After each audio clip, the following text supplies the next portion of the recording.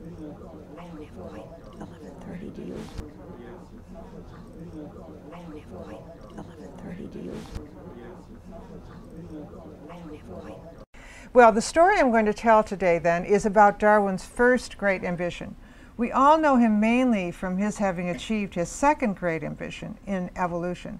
So we'll have to set that aside for the moment and talk about his first great ambition his ambition to create a theoretical basis for the science of geology.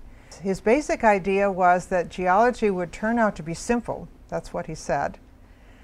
Uh, geology will turn out simple. And the simplicity came in his mind from a balancing of forces between the rise of the Earth's crust, elevation, and its fall, subsidence. So he thought when geologists figured this out, rise and fall, they'd really understand geology. Now, it turned out that things were more complicated than that. However, the current foundation for geological sci- science is plate tectonics theory, which is a more horizontal view of geology, the field.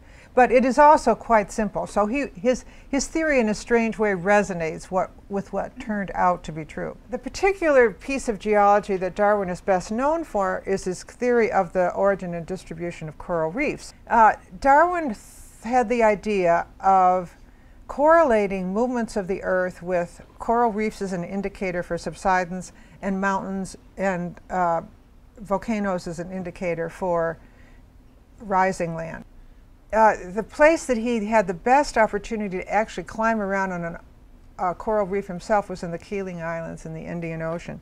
And this is a quite beautiful drawing he did of the Keeling Islands.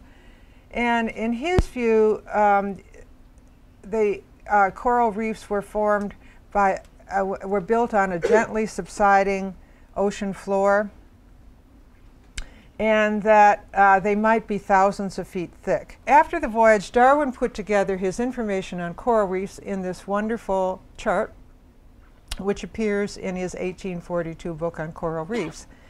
And it's a survey of the oceans, the Pacific and Indian Ocean, uh, and uh, blue areas indicate subsidence and red areas indicate elevation. Darwin expressed himself very ambitiously on this subject uh, he said the geology, the whole world will turn out simple, and I've applied all this to vertical movements, and he really thought he'd cracked the egg.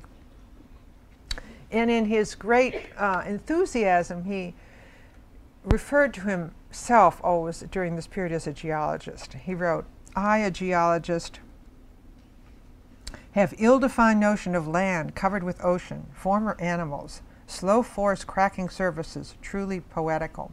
And right after that in his note, he goes on to talk about what he means by poetry, and he draws on uh, William Wordsworth's preface to the Lyrical Ballads.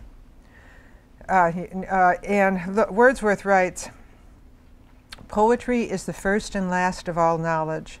It is, is as immortal as the heart of man. The remotest discoveries of the chemist, the botanist, of the mineralogist will be as proper objects of the poet's art as any upon which it can be employed. So Wordsworth is really inviting men of science to regard what they're doing as being poetic, and Darwin accepted this, and he um, he thought of himself, his own identity as a geologist, in explicitly romantic terms.